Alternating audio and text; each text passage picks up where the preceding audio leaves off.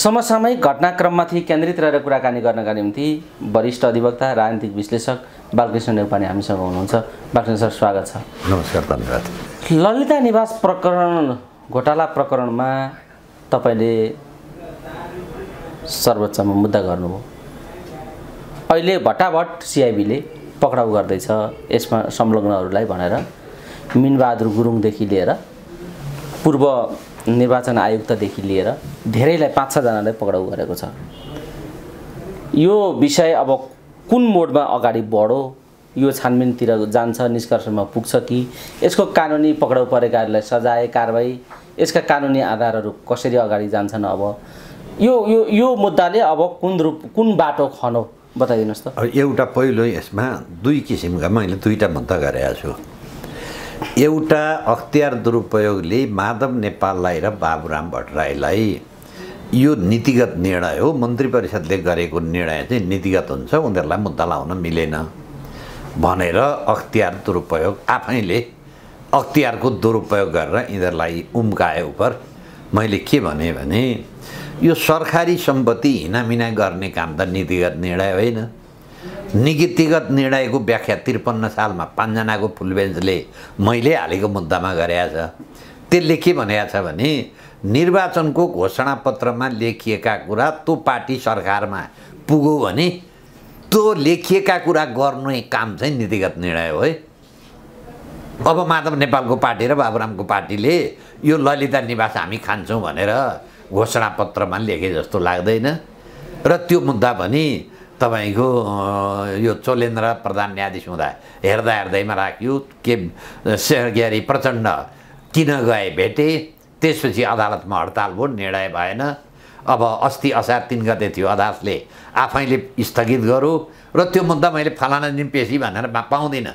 नौ चाहिँ पुस एक गते पेसी राखेको छ। यस्तो तदारुकता अदालतले भ्रष्टाचारका मुद्दामा दिइराखेको छ अब अर्को पोहोर इनदिनै जस्तो लाग्छ मलाई शेरबहादुर देउपा प्रधानमन्त्री थिए उनको महाधिवक्ता खम्बबहादुर खाती थियो सिआइबीले यसरी नै दुई गाडी कागज ल्याएर सरकारी वकालमा त्यो फाइल बुझायो बुझाउँदाखेरि चाहिँ तपाईँको सरकारी वकिलले आठ दसवटा कुरा यसमा अनुसन्धान मिलेन यसरी मिलेन उसरी मिलेन भनेर फिर्ता गरौँ हामीहरूले सर्वोच्च हात म सुखदेव भट्टराई द्वारिकानाथ ढुङ्गेलको संयुक्त रिटमा के भन्यौँ भने यो जम्मै डिजाइन चाहिँ यो हदम्याद गुजार्ने खेल हो यो। यो चाहिँ तपाईँको हदम्याद गुजारेपछि अब फेरि ल्याउँछ। त्यही मितिबाट हदम्याद कायम गरेर यो मुद्दा दर्ता गर्नु गर्न आदेश पाऊँ भन्ने मुद्दा सर्वोच्चमा विचाराधीन छ अब पोहोर इनदिन नै फिर्ता गरेको मुद्दा अहिले आठ नौ महिना पछाडि यो मुद्दा फेरि आयो। यस पछाडिको कारण चाहिँ के हुनसक्छ भने भोलि अदालतले यो हदम्यादको कुरो निकालेर यो मुद्दा दर्ता गर्न इन्कार गऱ्यो भने पोहोर साल फिर्ता गरेको चाहिँ योजनाबद्ध ढङ्गबाट अपराधीलाई उन्मुक्ति दिनका लागि फिर्ता गरेको रहेछ भन्ने कुरो प्रमाणित हुन्छ। त्यसमा पनि हाम्रो सर्वोच्च मुद्दा छ त्यही मितिलाई म्याद कायम गरी यो मुद्दा दर्ता गर्नु भन्ने आदेश जारी गरिपाउँ भन्ने मुद्दा छ। अन्तरिम आदेश माग्यौँ हामीहरूले न्यायाधीशले अन्तरिम आदेश दिएनन् अन्तरिम आदेश चाहिँ के मागेका थियौँ भने हामीहरूले यो मुद्दालाई हदम्याद कायम नगर न कायम नगरिकन यही मितिलाई हदम्याद कायम गरेर अनुसन्धान गरेर यो मुद्दा चाँडो दर्ता गर्नु भन्ने अन्तरिम आदेश मागेका थियौँ हामीहरूले दर मागेको अन्तरिम आदेश चाहिँ जारी भएन अनि यो ललिता निवासमा चाहिँ संलग्न भएका मान्छेलाई प थुना राखेर कारवाही नगर्नु भन्ने आदेश चाहिँ जारी भएछ यो हिजो र आजबाट मात्रै यो सार्वजनिक भयो। त्यो आदेश म पनि खोज्दैछु। अरू मुद्दालाई पनि काम लाग्छ। अब अहिले भएको यति हो। अब यसको उद्देश्य के हो भन्ने कुरो चाहिँ यो सिआइबीले अब भोलि सरकारी वकिल कहाँ कति दिनमा मुद्दा बुझाउँछ? अनि कुन कानुन प्रयोग गरेर अदालतमा लान्छ? अनि अदालतले लाँदाखेरि कुन कानुन प्रयोग गर्छ? अनि त्यो प्रयोग गर्नुभन्दा अगाडि माधव नेपाललाई र बाबुरामलाई यो मुद्दामा पक्राउ गर्छ कि गर्दैन। अख्तियार दुरुपयोगमा चाहिँ अख्तियार दुरुपयोगको ऐनले नीतिगत निर्णय भनेर छुट दिन सक्ने अलिकति केही हैसियत उनीहरूले गलत प्रयोग गरे। तर यो ठगी र चाहिँ तपाईँको सरकारी कागज किर्तेमा त त्यो सुविधा पनि छैन। अब सिआइबीले के गर्दो रहेछ हेरौँ। हामी त हेर्ने बाहेक हेर्ने अनि गलत गरेछ भने यो गलत गरौँ भनेर हामी के हो भने प्रतिक्रिया दिउँला अब दुईवटा कुरा आयो यहाँ। यी जति पक्राउ खाए मान्छेहरू पाँच छजनालाई चाहिँ हिरासतमा राखियो। तिनजना चाहिँ छुटे। तिनजना मान्छेलाई चाहिँ रिहाई गरियो भनेर समाचारहरू आए। यी तिनजना मान्छे कसरी छुटे? त्यही अदालतले आदेश दियो नि त। अनि हामीहरूले आदेश अरूलाई चाहिँ लाग्दैन? अब त्यो उसको जो जो मुद्दा गर्न गयो त्यसका मात्रै लाग्छ। हामीहरूले चाहिँ अन्तरिम आदेश माग्दा के माग्यौँ भने हामीहरूले यो हदम्यादबाट यो मुद्दा खारिज गराउने डिजाइन अन्तर्गत यो मुद्दा फिर्ता गरेको छ। यही मितिलाई हदम्याद कायम गरेर चाँडो मुद्दा दर्ता गर्नु भन्ने आदेश पाऊँ भनेर अन्तरिम आदेश माग्यौँ। हाम्रो अन्तरिम आदेश पाइएन। अनि उनीहरूलाई चाहिँ मलाई पक्राउ गरेर थुन्न चाहिँ थुनामा राखेर पक्राउ गर्न आँटो। थुनामा राख्न आँटो भनेर मागेको अन्तरिम आदेश चाहिँ जारी भयो भनेर म समाचारमा सुन्दैछु। मैले त्यो आदेश भेटेको छैन। म खोज्दैछु त्यो आदेश। त्यो आदेश खोजेपछि हेरेपछि कुन न्यायाधीशले के उद्देश्यका लागि गरेका रहेछ। अब अहिले हेर्दाखेरि त एक खालका मान्छेलाई अद अदालतले पनि भ्रष्टाचारीलाई चाहिँ बढी प्रोत्साहन गर्ने अपराध गर्नेलाई र फेरि ललिता निवासमा लालमोहर पनि किर्ते भएको छ। फिल्डबुक पनि किर्ते भएको छ। त्यहाँ त यति ठुलो चाहिँ अपराध भएको छ त त अब यो मुद्दा दर्ता भएपछि सार्वजनिक हुन्छ। सार्वजनिक भएपछि हामी हेरौँला। हेरेपछि हामी गरौँला अहिले मैले चाहिँ तपाईँ जति मैले भने एउटा त्यो मैले दर्ता गरेको मुद्दाको ब्याकग्राउन्डको आधारबाट भने एउटा सञ्चार माध्यममा जे जे कुरो आयो त्यही सञ्चार माध्यमको कुरोको आधारमा भने। ठिक छ अब यो फिल्बुक किर्ते आदि इत्यादि ढड्डा सड्डा सबै किर्ते गरेर लफडा गर्नेहरू माथि कस्तो मुद्दा चल्छ कस्ता आदेश हुन्छ? भन्नुहोस् न अब आगामी दिनमा प्रमुख यसमा संलग्न छ। हेर्नुहोस् न यो दुर्भाग्य। त्यसो भए बस्नेत अख्तियारको प्रमुख ललिता निवास काण्डमा संलग्न छ। अनि भुटानी शरणार्थी काण्डमा अहिलेको अख्तियारको प्रमुख संलग्न छ। राज्यको कुनै पनि पदमा पुग्नुभन्दा अगाडि अपराध नगर्ने मान्छे पदमा पुग्दैन। किन? भन्दाखेरि पदमा नियुक्ति दिने मान्छे नै अपराधी ब्याकग्राउन्डका छन्। अपराधीले त अपराधी मान्छे छान्छ नि। भन्नुहोस् त अब। अब हेरौँ यो कसरी अगाडि जान्छ भ- भरे भोलि हेरौँला। तर यही प्रकरणलाई लिएर सदनमा प्रचण्ड पनि बोल्नुभयो प्रधानमन्त्री पुष्पकमल दाहाल प्रचण्डको पनि अभिव्यक्ति सुनियो।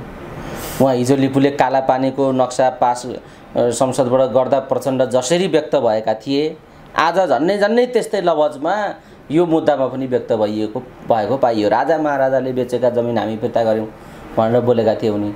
पछि भारत भ्रमण जाँदा त्यो विषय नै उठेन भन्ने आयो। अहिले त्यस्तै त्यस्तै लवजको अभिव्यक्ति सदनभित्र प्रचण्डको आयो। मैले अब यो प्रधानमन्त्री बस्नलाई बनेको पुर्खाले अघिल्लो सरकारले राज्यले छुट्याएको जमिन बेचेर खानेलाई अब म त्यसै छोड्दिनँ भन्ने टाइपको अभिव्यक्ति उहाँको आयो। पक्राउ पनि परे मान्छे। अब बाबुराम र माधव नेपालको यसमा संलग्नता त कस्तो हो र। त्यहाँ पुग्छन् पुग्दैनन् अब? संलग्नता मन्त्री परिषदको निर्णयले जग्गा गएको छ। बाबुराम र माधव नेपालको सहीले गएको छ। संलग्नताका आधार प्रमाण बलिया छन्। बलिया छ तपाईँले हेर्नु भएको छ नि हेरेको छु मैले।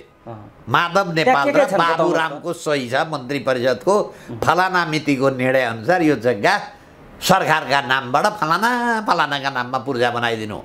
अनि मालपतकारले पूर्जा बनाउँदा पनि मन्त्री परिषदको फलाना मितिको निर्णयले यो फलानाका नामबाट फलानाका नाममा यो जग्गा पूर्जा दिएँ भन्ने पनि छ मह्म। त्यो त सोह्रमा अठार आना त अख्तियारले निर्णय नै गर्दा। अपराधी त जम्मै माधव नेपाल र बाबुराम हुन्। तर मलाई यो ऐनको कारणले नीतिगत निर्णय भएको कारणले मैले मुद्दा लाउन सकिनँ भनेर गलत व्याख्या गरेर त्यो ऐनको गलत उद्धरण गरेर सर्वोच्च आठको फैसलाको गलत उद्धरण गरेर त्यतिखेरको अख्तियारले अख्तियारको दुरुपयोग गरो।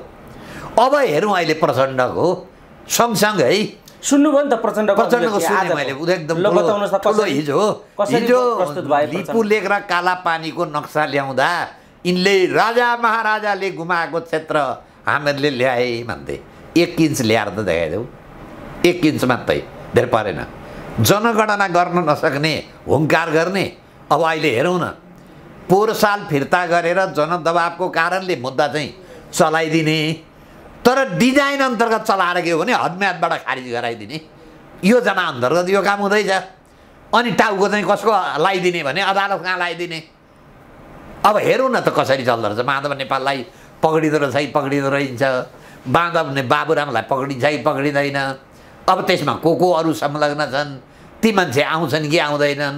तपाईँको यी पौडेलजी छन् कि छैनन्?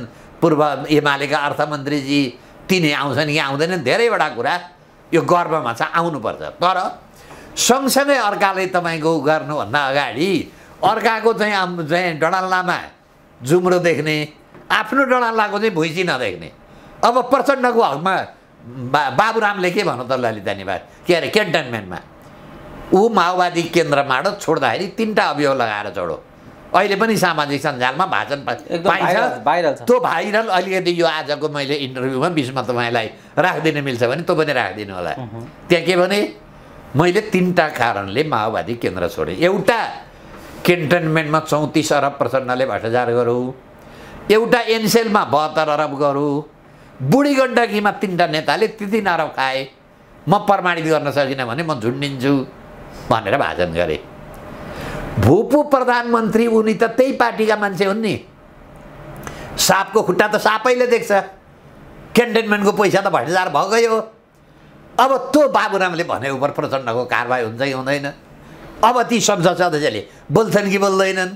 अब संसदमा त ठुला प्रश्न उठे अब। क्यान्टनमेन्टको एनसेलको र बुढी गण्ड बुढी गण्डकीको तिनवटा फाइल खुल्छन् कि खुल्दैनन्? अब यी संसद सदस्यले यो प्रश्न उठाउँछन् कि उठाउँदैनन्? प्रचण्डले त ठिकै छ गरे। ललिता निवासमा। अनि त्यहाँबाट उस्मान पनि गरे। तपाईँको चाहिँ भुटानी शरणार्थीमा पनि त्यसैले यो कुरो हेर्न बाँकी छ। यसका लागि केही कुरो हामीहरूले प्रतीक्षा गर्नुपर्छ। अब यो अपराधीलाई बचाउन गरेको हुङ्कार हो कि अपराधीलाई सजाय गर्न गरेको हुङ्कार हो त? त्यो अभियोग पत्र दर्ता गरेर अभियोग पत्र सारेर हेरेको पन्ध्र मिनटमा म भनिदिइहाल्छु नि। ठिक छ। यसको योजना के हो भन्ने? अब हेरौँ यो कसरी अगाडि जान्छ। यी पक्राउ परेकाहरूले कस्तो बयान दिन्छन्? त्यहाँको कसको प्रतिवेदन कसरी तयार हुन्छ? मुद्दा कसरी अगाडि बढ्छ? त्यसले निर्क्युल गर्छ तपाईँले भन्नुभयो। तर यहाँ अर्को कुरो के छ भने प्रचण्ड जसरी बोल्दैछन् त्यो सही सत्य बोलिराखेका छैनन्। यो उनको सत्ता टिकाउने खेलमा अरूलाई तर्साएर दबाबमा राख्नु बाहेक उनको अर्को उद्देश्य होइन। उनी त्यसका लागि यो डन्ठा चलाइराखेका छन्। यो यस्तो कुरा हो है भन्ने आलोचना पनि ठिक छ। यो यो विषयलाई एउटा हामी आम जनतालाई प्रचण्ड सरकारमा हुनु शेरबहादुर सरकारमा हुनु केपी सरकारमा हुनु एक थोपो तलमाथि केही पनि फरक छैन यी एकै बाँडा बुँदेकै एजेन्ट हुने कसैको एक थोपो तलमाथि छैन छैन। अब उनको सत्ता टिकोस् केपी शर्मा ओलीको होस् अथवा शेरबहादुरको हामीहरूलाई के सरकार हामीहरूलाई त गोठा लाउँ बिगौती पाए हामीहरूलाई पुगो। पाछो पाओस् कि बाँची पाओस्? हामीहरूलाई सरकार छैन। त्यसैले जसले गरिदिए पनि हुन्छ है राम्रो काम। अब यो राम्रो काम यो राम्रै काम भयो होइन यो ठेगानमा पुर्यायो भने चाहिँ राम्रो काम भयो। ठेगानमा पुर्याएन भने चाहिँ फेरि नक्कली काम हो यो यो अपराधीलाई छोड्ने काम हुँदैछ हुनसक्छ यो कसो गर्दा ठेगानमा? अब हेरौँ न त पहिलेकै पुग्न माधव बाबुराम आउनु पर्यो। आउनु पर्यो एउटा अनि पहिलेकै म्याद कायम गर्नु पर्यो त कानुनी व्यवस्था बमोजिम। हामीहरूले सर्वोच्च आत्मा मुद्दामा यसरी मुद्दा परिरहेको त्यो मुद्दामा माग चाहिँ त्यही मिति कायम गरी पाऊँ भन्ने माग भएको र यो कानुन अब हेरौँ न त कसरी मुद्दा आउँदो रहेछ। नयाँ कानुन बन्जी मुद्दा ल्याउँछन् कि पुरानो कानुन बन्जीको मुद्दा ल्याउँछन् कि दुइटै दफा समाउँछन् कि त्यसमा कसरी व्याख्या गर्दा रहेछन्?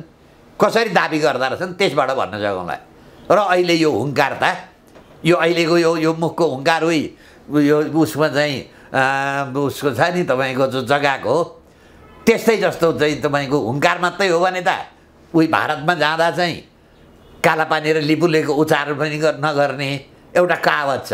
घर साँडै बर बिरालो भन्छ। घरमा चाहिँ साँडै हुने अनि वनमा गए चाहिँ बिरालो हुने लुरु लुरु पुछर तपाईँको टाँगा पनि छिराएर हुने यहाँका संसदमा चाहिँ एकदम कालापानी र लिपुले ल्यायौँ भनेर हुङ्कार गर्ने भारतका भारतमा गएर अब एक शब्द पनि उच्चारण गर्न नसक्ने। अब यो पनि भ्रष्टाचारका चाहिँ हुङ्कार गर्ने संसदमा तर त्यो भ्रष्टाचार बमोजिमको कारवाही त नगर्ने। अब यही भन्नुहोस् न तपाईँको भुटानी शरणार्थीमा पनि धेरै जोग ती मान्छे जो जो आउनुपर्ने मान्छे आएनन्। शेरबहादुरकी धर्मपत्नी पनि आउनु पर्थ्यो प्रचण्डको आफ्नै नाम आइरह लिइरहेछन्। आइरहेको रिजालले अनुसन्धान गर्नु पर्यो। त्यसैले हेर्दै जानुहोस् यति नहुनु मामा भन्दा कानु मामा हुनै ना नाको निको अहिले केही नभएकोमा यति त भयो नि।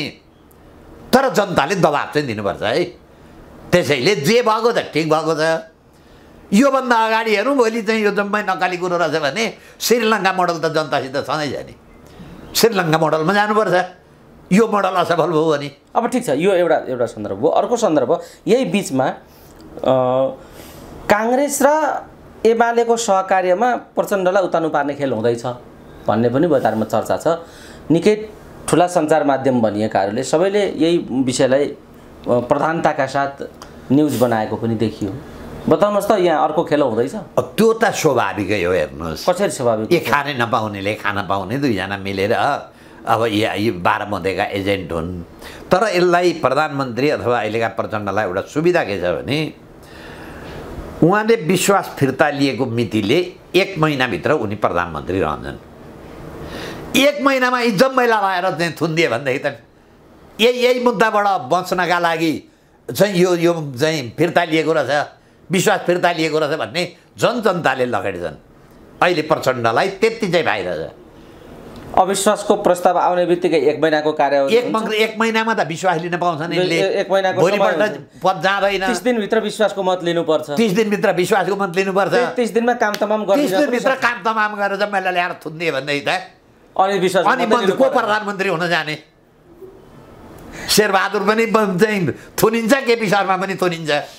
त्यसैले यो काम गर्न सक्छन् है प्रचण्डले। किन गर्न सक्ने म देख्छु भने उनको अब यो अन्तिम कार्यकाल हो। म इतिहासमा गजबको नाम राख्छु भनेर आइरहेछन्। अब उनलाई पैसाको जरुरी छैन। भएको पैसा पनि संसारमा तपाईँको निर्व्याजी बसिया होला। त्यसैले यिनी केही गर्न सक्छन्। अब क्यान्टनमेन्ट त आफ्नो त आफै गर्दैन होला अहिले अहिले ठ्याक्कै अहिले आएर चाहिँ तपाईँ अलिकति प्रचण्डसँग आशावादी हुनुभएको हो। एक दुईवटा गरे नि त।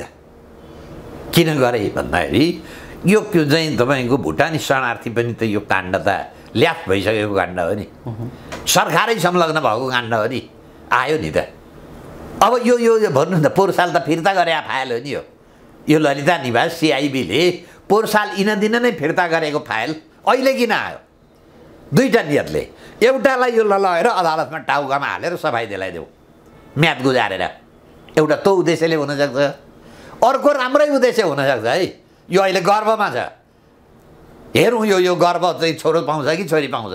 अनि भनौँला यो छोरो अथवा छोरी हो भनौँला तर गर्व त बोको नि। के पाउँछ त पछिका कुरा? यति त भयो जनतालाई आशा त जगायो।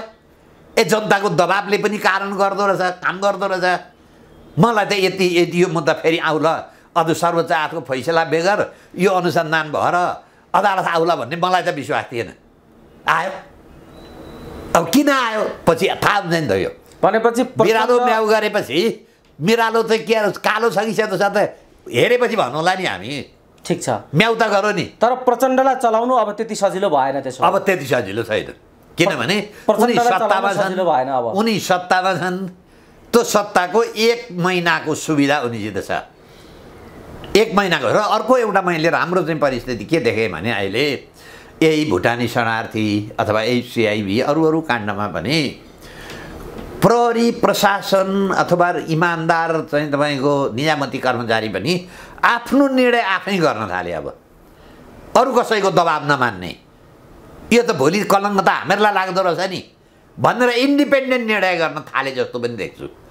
र इन्डिपेन्डेन्ट निर्णय गर्न थाले भने तिमी अपराध गर्ने प्रधानमन्त्री र मन्त्रीले ल मेरो जागिरै खोज त। हदै भाइ सरुवा गरिदेऊला भनेर ती कर्मचारी सुरक्षा निकायका मान्छेले एक्टिभ भयो भने त कसैको केही लाग्दै लाग्दैन नि।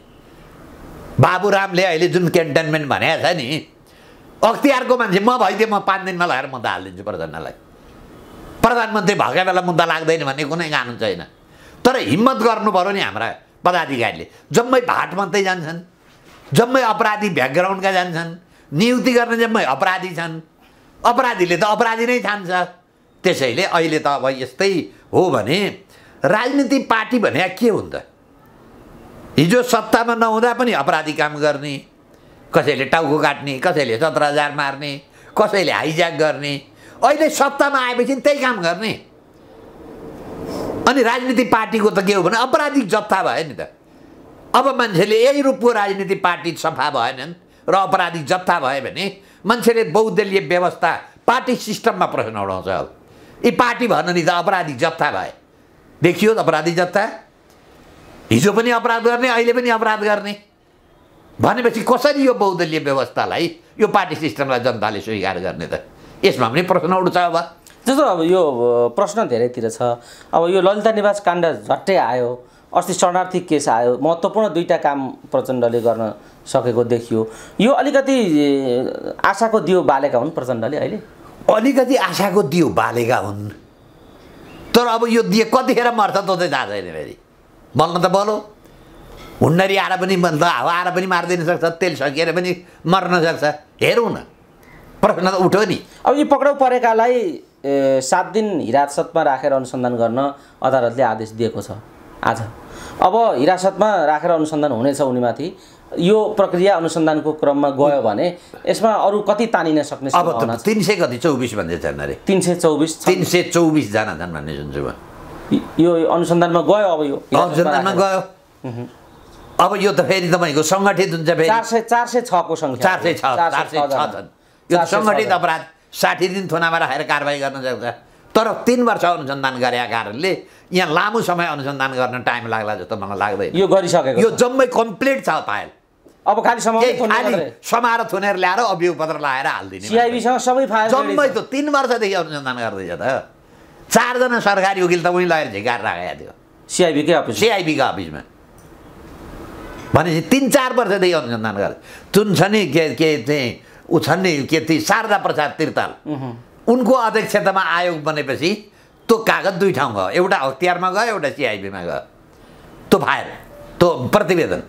यता भ्रष्टाचार के अरे भ्रष्टाचार चाहिँ अख्तियारले गरौँ। उनले फेरि त्यो बलियोसँग तयार गरे। बलियोसँग तयार गरे। एकदम बलियो छ। बलियो छ प्रतिवेदन। त्यसैले यो लामो पर्दैन। र सायदै सात दिनमा मुद्दा दर्ता गरिदिनु पनि सक्छ। त्रितालजीले एकदम राष्ट्रिय धर्म पुरा गरेर प्रतिवेदन राम राम्रो प्रतिवेदन बनाएको। देखिन्छ। देखिन्छ अब त्यो। अब त्यो प्रतिवेदन अहिले खुलेआम सार्वजनिक भइ नसकेको हुनाले अब यही मुद्दामा आइहाल्छ नि। त्यो होला अख्तियारमा बुझाएको छ त्यो फाइलको विशेष हातमा। धेरै व्याख्या यहाँ सार्वजनिक रूपमा नआएको हुनाले नगरौँ। तर त्यो बलियो राष्ट्रिय धर्म पुरा गरेर बनाइएको प्रतिवेदन छ। अब बालकृष्णजी यो अनुसन्धानमा गयो र चार सय छजना अब यो नियन्त्रणमा अनुसन्धानको दायरामा आए होइन अब। अब आउँछन्। आए। यसलाई अगाडि बढाउने हो भने। त्यसमा कति नम्बरमा पर्छन् बाबुराम र एक नम्बर। माधव नेपाल? पहिले एक नम्बरमा माधव नेपाल दुई नम्बरमा भाउरा ठिक छ यसलाई यहीँ बिछौँ अब कसरी अनुसन्धानमा उहाँहरूले ककरलाई गर्नुहुन्छ? यो पछिल्लो समय जुन खालको परिस्थिति छ यो काण्ड सँगसँगै अहिले ठुलो काण्ड अर्को चर्चाको काण्ड जलारी। पशुपतिनाथको जलरी। जलरीमा घोटाला भएको हो कि होइन भन्ने कुराको अख्तियारले दिएको यो यसपालिको नापजाँच तौलको रिपोर्ट के सुन्नुभयो तपाईँले? के थाहा पाउनुभयो त्यो कसरी नापजाँच भयो? दोस्रो कुरा त्यहाँ नाम पनि लेख्न भ्याएछन् केपी ओली जलरी। केपी खड्ग प्रसाद ओली शर्मा भनेर। अब यो कस्तो खालको प्रवृत्ति हो कम्युनिस्ट नेताहरूको? यसलाई कसरी हेर्नुहुन्छ त्यहाँ नाम लेख्ने कुरा र? यो त्यहाँका पदाधिकारी के एकजना कतिवटा घनश्याम त्यसपछि मिलन कुमार थापाको कुरो सुन्दा जम्मै गलाउने त्यहाँबाट त्यो काट्ने त्यो ढाँचामा ल्याउने काम हामीले ती गऱ्यौँ भन्दै। ती गरेको हो भने यो नाम लेखाएको कुरो अहिलेसम्म आएको थिएन। यसले के शङ्का जनायो भने त्यो त्यहाँ जुन जलारी बनाउने काम त्यहाँ भएको छैन अन्य कुनै ठाउँमा भएको छ। कसैले पनि अहिलेसम्म मुचुल्का खडा गर्दादेखि लिएर जलारीमा नाम राखेको पनि त्यो कतिजना तेह्रजना राष्ट्रपति प्रधानमन्त्री के चाहिँ यो यो यो पर्यटन मन्त्रीदेखि लिएर धेरैको नाम आयो। यसले प्रश्न अब एक सय छ किलो सुन राखेँ भनेर पशुपतिको मुचुल्कामा देखिन्छ। तर अहिले एक सय सात किलो सुन आइसक्यो। गुप्तदानबाट पनि एक किलो आएको थियो भन्ने छ नि त। त्यो त्यो गुप्तदानको रेकर्ड त हुनुपर्ने होला। गुप्तदान सायद होला कोषसँग। अब के होला थाहा छैन गुप्तदान। अब त्यो एउटा शङ्कास्पद कुरा आयो। र अर्को शङ्कास्पद अब यो पहिलेको दस किलो हिनामिना भएको उसले भन्छ महालेखाले भन्छ। पहिलेको कुरो हेर्दा छयानब्बे किलो मात्रै सुन लायो। तिनै घनश्याम तपाईँको कतिवटाको। हेर्दा पनि एक सय छ किलो हामीहरूले लायौँ दस एघार किलो बाँकी छ। त्यो चाहिँ के के रिङसिङ बनाउने किला काटा बनाउने के के भनेर मैले तपाईँले दिएको अन्तर्वार्ता मैले सुने। अहिले आएर त थपियो एक सय सात किलो त ती पशुपतिमा जलारीमा रहेछ अर्को यसमा सबभन्दा ठुलो प्रश्न के उठो भने योभन्दा अगाडि भएको त्यो तामाको जलारी चाहिँ कहाँ गयो? एक सय छ सात किलोको सुन लाग्यो भने त्यहाँ एक सय सात किलो त तामाको पनि के अरे तपाईँको उसको चाँदीको पनि थियो नि। त्यो त हजारौँ वर्ष पुरानो थियो होला। त्यो चाहिँ यिनीहरूले पुरातत्वमा लगेर बेचेर खाइखान्। खोइ त्यसको रेकर्ड खोइ। उहाँहरूले भन्थे पहिले चाँदीको त जलारी थियो। पहिला त शिलाकै थियो। पहिले शिलाको थियो त्यसपछि पछि को राजाका पालामा। चाँदीको हालियो त्यसपछि को राजाले फेरि चाँदी थपे? तामा तामा तामाको चाँदीको थप्दै गए त्यो चिज कहाँ गयो? पहिलो त अब। अहिलेको त सुनको बिहा छोडिदिउँ अहिले त्यो तामा त्यो जुन ऊ छ नि तपाईँको त्यो चाँदीको त्यो जलारी कहाँ रेकर्डमा कहाँ छ त्यो त्यो त पुरातात्विक चिज हो नि। अब प्रश्न त्यहाँ उठ्यो र अहिले अख्तियारले र पहिले गरेको र अर्को अहिले अलिकति शङ्का गर्नुपर्ने ठाउँ के छ भने यो यो जलारी काण्डको सुइरो केपीसँग छोड एमालेसँग यो सुइरो त्यता जान्छ। केपी शर्मा ओलीले नै नियुक्ति गरेका प्रेम कुमार राईले यो तदारुफता देखाएर तुरुन्त तुरुन्ती जाँच तौल गरेका छन् नि। यो चोख्याउने खेल त होइन। अब यसले त न्यायिक आयोग अब पशुपतिको यो विवादको कारणले एउटा न्यायिक आयोग खोज्यो अब यहाँ। हेर्नुहोस् है। अब अब त केहीमा पनि विश्वास गर्न सक्ने मान्छेको हैसियत अब त्यसमा पनि कम्युनिस्ट भनेको एउटा कहावत छ कम्मल ओढेर घिउ खाने भन्ने एउटा कहावत छ। कम्युनिस्ट धर्म चाहिँ नमान्ने। अनि आफू मरेपछि पनि जलारीमा चाहिँ केपी शर्मा ओली विद्या भण्डारी के घनश्याम ढ चाहिँ भानुभक्त ढकाल यी यी कम्बल ओढेर घिउ खाने पो रहेछ नि त। मरिसकेपछि नाम चाहिँ रहिरहेको नाम चाहिँ भइरहेको पनि धर्मका लागि। पशुपतिको शिवलिङ्गमा। शिवलिङ्गमा चाहिँ। भनेपछि यी के जात हुने? यी त यी कम्बल ओढेर घु खाने रहेछन् नभए कम्युनिस्ट त एकदम यो अफिम हो नि। कति क्विन्टल अफिम खाएको छ केपी शर्मा ओलीले विद्या भण्डारीले कति क्विन्टल अफिम खायौँ अनि जलारीमा राम राख्नुपर्ने। यस्ता ढोङ्गी। त्यसैले यही कम्युनिस्ट यो देशका लागि समस्या हो। अहिलेसम्म संस्थागत भ्रष्टाचार पनि कम्युनिस्टले गरे। देशको अहित हुने काम पनि नेपालमा कम्युनिस्टले गरे। सबभन्दा बढी मान्छे पनि कम्युनिस्टले मारे। अब त म के देख्छु भने र संसारमा जहाँ यो रूपमा जुन कम्युनिस्ट विसा विकास भयो नि त्यो देश सिद्धिएको छ। हाम्रामा पनि कम्युनिस्ट यस रूपमा आएका छन् नि यी भाडाका चिज हो नि। जसले भाडा दियो काम गरिदिइहाल्छन्। चाइनीले भाडा दियो बिआरआई पास गरिदिन्छन्। हिजो चाहिँ पोखराको एयरपोर्ट बिआरआई भनेर ल्याएको रहेछ। अमेरिकन पैसा दियो एमसिसी गरिदिन्छन्। भारतले पैसा दियो नागरिकता दिन्छन्। यी भाडाका चिजले एकदमै यो देश रहन्छ। रहँदैन। अब नेपालमा मैले त के देख्छु भने यिनै कम्युनिस्टको कारणले देश सकिदिन्छ खाल खालका अनुहारका कम्युनिस्ट छन् फेरि यहाँ। जात जातका कम्युनिस्ट छन्। हरेकको उद्देश्य र भ्रष्टाचारमा संस्थागत गर्ने काम कसैले गर्छ भने कम्युनिस्टले गर्छ। संस्थागत भ्रष्टाचार। जम्मै पैसा खाएको सेन्ट्रल कलेक्सनमा राख्ने। अनि त्यो बजेटबाट तपाईँको कतिवटा बिजुलीका प्रोजेक्ट चलाउने। एमालेका कतिवटा बिजुलीका आयोजना छन् त मलाई छ जलविद्युतका आयोजना। सहकारी सबै एमालेका। सहकारी जम्मै एमाले। यसले त के प्रश्न उठायो भने नेपालको कम्युनिस्ट पार्टी र यो खालको जुन अपराधिक जत्था सरकार बाहिर हुँदा पनि अपराध गर्ने सरकारमा आएपछि पनि अपराध गर्ने। अपराधी जत्था भाइ। अपराधी जत्था राजनीति पार्टी हुन सक्छ त? हुन सक्दैन। त्यसले यसले चाहिँ यो बहुदलीय व्यवस्थामा पनि प्रश्न चिन्ह उठायो अब। अपराधिक ब्याकग्राउन्डका अपराधिक मान्छेले बहुदलीय व्यवस्था चलाउँदा यस्तो हुँदो रहेछ नि त। देखियो कोही हाइज्याक गर्ने पार्टी छ कोही सत्र हजार मार्ने पार्टी छ कोही सुत्या ठाउँमा टाउको काट्ने पार्टी छ। अब तिनै पार्टी आएर मै कसैले भुटानी खान्छ कसैले जलारी खान्छ कसैले ललिता निवासको जग्गा खान्छ? भनेपछि फरक आयो त।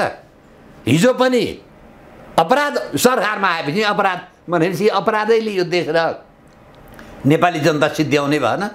अब यस विषयमा चाहिँ नेपाली जनताले गहन रूपमा सोचौँ है। बालकृष्ण सर यो हाम्रा नेता र पार्टी के हालतका रहेछन् अब यो नयाँ आएकाहरूमा पनि प्रश्न छ। अब रवि लामिछानेकी श्रीमतीले चलाएको सहकारीमा ठुलो घोटाला भएको भन्ने अहिले जनताले आक्रोश व्यक्त गरेर सडकमा आएको देखियो।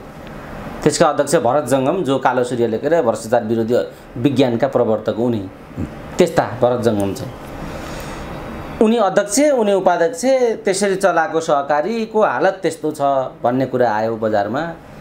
यसमा प्रश्न पार्न सकेनन् रवि लामिछानेले एकातिर। अर्कातिर उनलाई ग हालेको मुद्दाको रिट खारेज गरिदियो। रविलाई हालेको युवराज सफलले जो हालेका थिए त्यो रिट खारेज गरिदियो अदालतले। एकातिर त्यस्तो छ। अर्कातिर बालेन एउटा प्रवृत्ति छ। बालेन हर्क साम्पाङहरू एक ढङ्गले आइराखेका छन्। त्यसमा बालेनलाई फेरि अदालतको मानहानि गरौँ भनेर मुद्दा हालेर अर्को दुःख दिने धन्दा हो कि भन्ने देखिन्छ।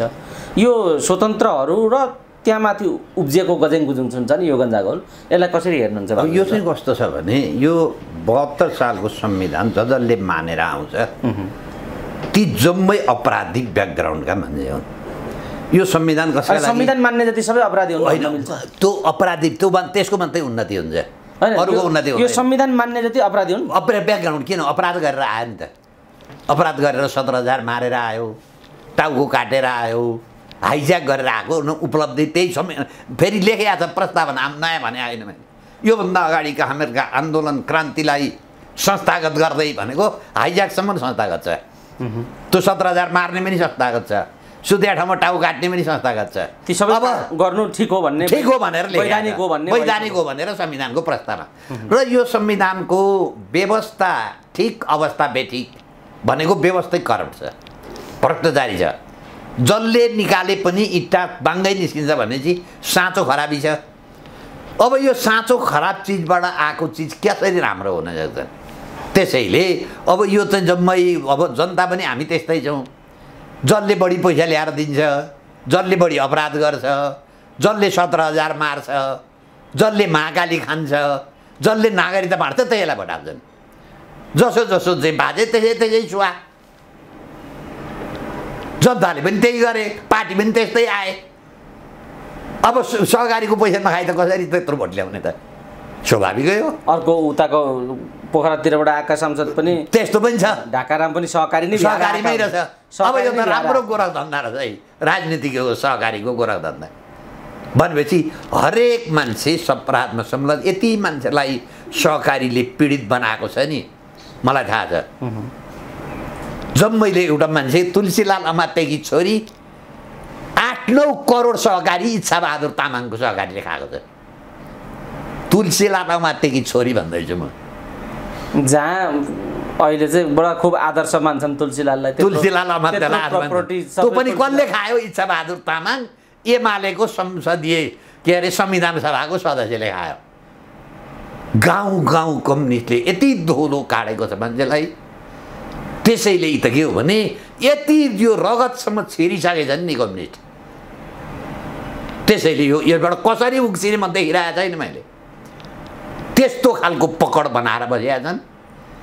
त्यो पकड टचमस तपाईँले गर्न पाउनुहुन्न। भोट त्यसैलाई हाल्नुपर्छ। त्यस कारणले यो बबन्डर खडा भएको। यो जम्मै बबन्डर त यसैले खराब अब यसको निकास के हो तपाईँहरूको यो म त यो जबसम्म यो बाह्र बुँदेको संविधान खारिज हामी गर्दैनौँ यसको जडै त्यही हो इट्टा बाङ्गो निस्किन्छ भने साँचो फेर्नुहोस्। जो आउँदा पनि राम्रो हुँदैन भने त साँचोमा समस्या छ। साँचो भनेको बहत्तर सालको संविधान। अपराधीलाई मान्यता दिने साँचो ज्यान मारादेखि लिएर हाइजागर जम्मैलाई हामीहरूले एकदम क्रान्ति गरेको भनेको छ। मान्छे मारेर क्रान्ति हुँदैन। हाइज्याक गरेर क्रान्ति हुँदैन। त्यो दुर्गा सुवेडीलाई सोध्नुहोस् त्यो हाइज्याक गरे पैसा गिरिजाले कसरी खाएको छ? भन्ने कुरो दुर्गा सुवेडीको किताबमा लेखिया छ। अनि सरकारी सम्पत्ति खाने अनि मान्छे मार्ने टाउको काट्ने अनि ठुल्ठुलो क्रान्ति गर्ने भनेर आएर अनि त्यही लुट्ने। भगाइदिएछ नेपालीलाई बि- भुटानी बनाएको पनि लुटिएको छ जलारी पनि लुटिएको छ ललिता निवास पनि लुटिएको छ वाइट बडी पनि लुटिएको छ धरानको सर्दोको जग्गा पनि लुटिएको छ यिनीहरूले राम्रो काम गरे ठाउँ भेटे जति खाली। खाली ठाउँ देख्नै हुँदैन देख्नै हुँदैन। कहीँ पनि छैन काठमाडौँमा नौ हजार रोपनी जग्गा गायब सरकारी। गायब भनेपछि हेर्नुहोस् त यो व्यवस्था चल्छ चल्दैन बाँकी जनताले अब श्रीलङ्काको मोडल बाहेक अर्को कुनै म विकल्प देख्दिनँ? हवस् समय दिनुभयो। यो महत्त्वपूर्ण समय र संवादका लागि यहाँलाई धेरै धेरै धन्यवाद। तपाईँलाई पनि धन्यवाद।